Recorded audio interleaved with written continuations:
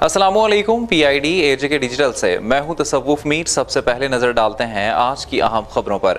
وزیر اعظم آزاد کشمیر۔ چودھری انوار الحق نے سابق وزیر تعلیم سردار محمد یوسف کی بیوہ اور سابق مشیر حکومت سردار امجد یوسف کی والدہ محترمہ کے انتقال پر گہرے دکھ اور افسوس کا اظہار کیا ہے۔ وزیر اعظم آزاد کشمیر چودھری انوار الحق نے سابق وزیر تعلیم سردار محمد یوسف کی بیوہ اور سابق مشیر حکومت سردار امجد یوسف کی والدہ محترمہ کے انتقال پر گہرے دکھ اور افسوس کا اظہار کرتے ہوئے دعا کی ہے کہ اللہ تعالیٰ مرحومہ کو جنت الفردوس میں جگہ دے اور لواحقین کو صبر جمیل عطا کرے۔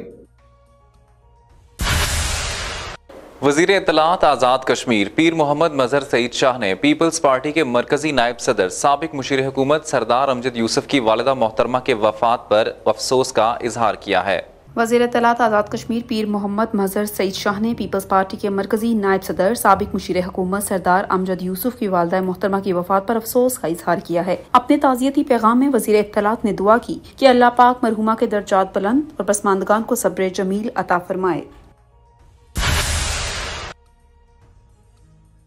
Turkish corporation and coordination agency کے وفد کا دورہ آزاد کشمیر جنا ڈینٹل اسپتال میں دو جدید لیبارٹریز کا افتتاح کیا۔ وزیر صحت نثار انصر عبدالی نے Turkish corporation and coordination agency کے تعاون کا شکریہ ادا کیا۔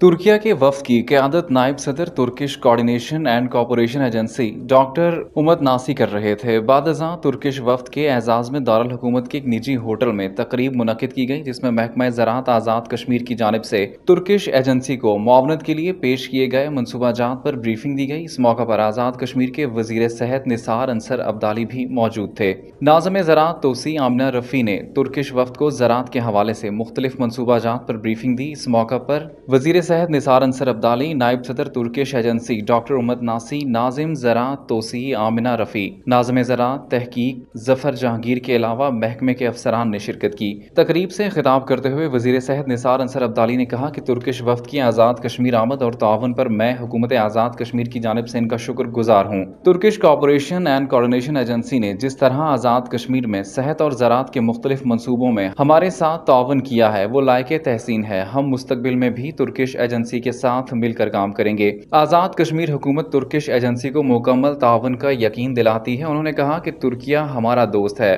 برادر اسلامی ملک ہے، جس نے ہر مشکل گھڑی میں ہماری مدد کی۔ آٹھ اکتوبر دو ہزار پانچ کے زلزلے میں ترکیہ نے یہاں بے شمار منصوبہ جات مکمل کیے جس سے آزاد کشمیر کے عوام مستفید ہو رہے ہیں۔ تقریب سے خطاب کرتے ہوئے ڈاکٹر امت ناسی نے کہا کہ Turkish coordination and corporation agency پوری دنیا، خصوصاً پاکستان اور آزاد کشمیر کے لوگوں کے لیے رفائی کام کرنے میں کوشاں ہے اور آزاد کشمیر میں چند منصوبہ جات جیسے ڈینٹل اسپتال میں لیبارٹریوں کا قیام، نوزائیدہ بچوں کے لیے وارڈ کا قیام وغیرہ اس کی بہترین مثالیں ہیں۔ آزاد جموں و کشمیر الیکشن کمیشن نے پاکستان مسلم لیگ نون، آزاد جموں و کشمیر، فلاح انسانیت، آزاد جموں و کشمیر اور مرکزی اہل حدیث، آزاد جموں و کشمیر کو بطور سیاسی جماعت رجسٹرڈ کر دیا ہے۔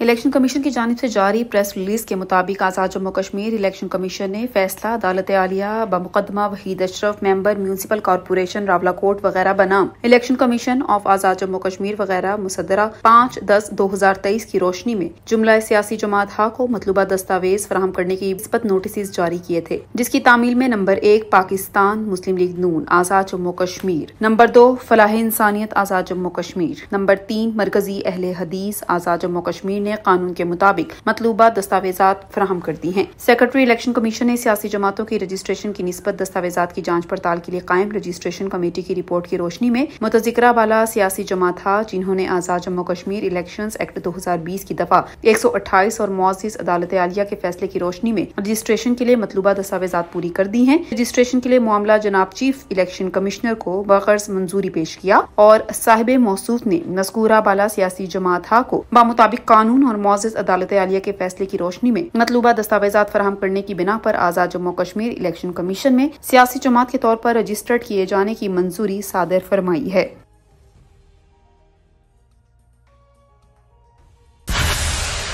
اب آپ کو بتائیں کہ secretary wildlife of fisheries Amir Mahmood Mirza کی ہدایت پر پٹکا میں چیڑ بند درخت کی چوٹی پر پھنسے تیندوے کو محکمہ وائلڈ لائف عملہ نے بر وقت اقدام کرتے ہوئے ریسکیو کر لیا۔ وزیر wildlife of fisheries Javed Ayub secretary wildlife of fisheries Amir Mahmood Mirza کی ہدایت پر۔ Director wildlife Naeem Dar کی نگرانی میں ڈیپٹی ڈائریکٹر وائلڈ لائف سخی زمان کی سربراہی میں۔ محکمہ وائلڈ لائف کے عملے نے تیندوے کو تین گھنٹے کے مسلسل آپریشن کے بعد ریسکیو کر لیا۔ غیر معمولی معمولی ریسکیو آپریشن کے دوران تیندوے کو بحفاظت درخت سے اتارنے کے لیے وائلڈ لائف کے ریسکیو عملہ نے طویل آپریشن کو انتہائی احتیاط کے ساتھ سر انجام دیا۔ ریسکیو آپریشن میں تیندوے کو بحفاظت نکال لیا گیا، جس کے بعد محکمہ وائلڈ لائف آف فشریز نے آبادی سے دور جنگل میں چھوڑ دیا۔ وزیر وائلڈ لائف جاوید ایوب اور secretary wildlife of fisheries Amir Mahmood Mirza نے محکمے کی جانب سے بر وقت کاروائی کرتے ہوئے تیندوے کو ریسکیو کرنے کے اقدامات کو سراہا اور کہا کہ محکمہ وائلڈ لائف جنگلی حیات کے تحفظ کے لیے مثالی اقدامات اٹھا رہا ہے، جس پر محکمہ وائلڈ لائف کا عملہ مبارک بات کا مستحق ہے۔ ہے انہوں نے کہا کہ جنگلی حیات کے بچاؤ کے لیے تمام دستیاب وسائل بروئے کار لائے جائیں گے۔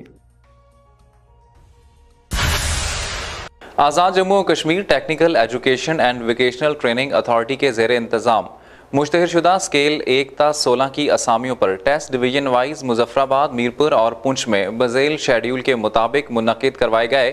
اس عمل میں اتھارٹی کی جانب سے شعبہ انتظامیہ کے ڈائریکٹر ڈیپٹی ڈائریکٹر اور دیگر معاون سٹاف انتظامیہ نے حصہ لیا۔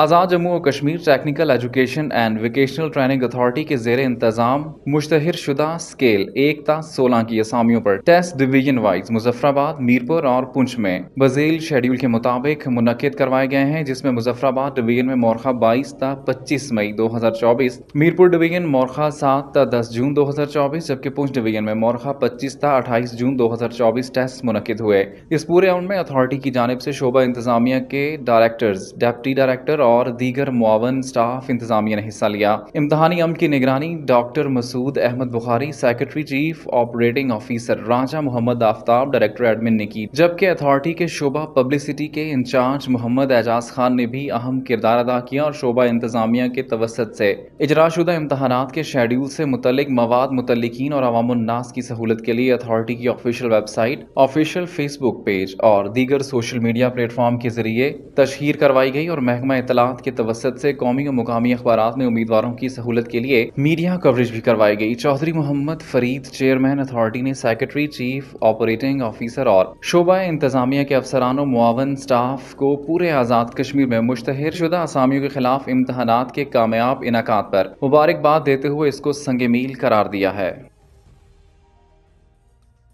پی آئی ڈی اے جے کے ڈیجیٹل سے فی الوقت اتنا ہی۔ مزید خبروں اور اپڈیٹس کے لیے ہمارے سوشل میڈیا اکاؤنٹس کو فالو کر لیجیے۔ اجازت دیجیے اللہ نگبان